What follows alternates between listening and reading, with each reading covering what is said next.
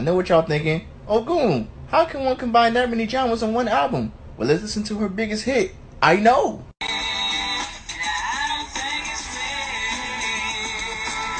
Which is odd, cause if that was a white record that combined all these genres together, that song would have been like the most globalist of hits.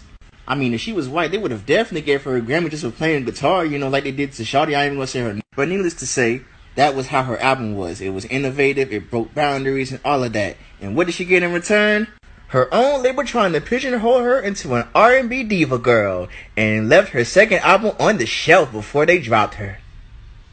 Now, if you want to hear my theory, I think the Crackers got mad that she did a way better cover of that song Blackbird than the washed ass Beatles.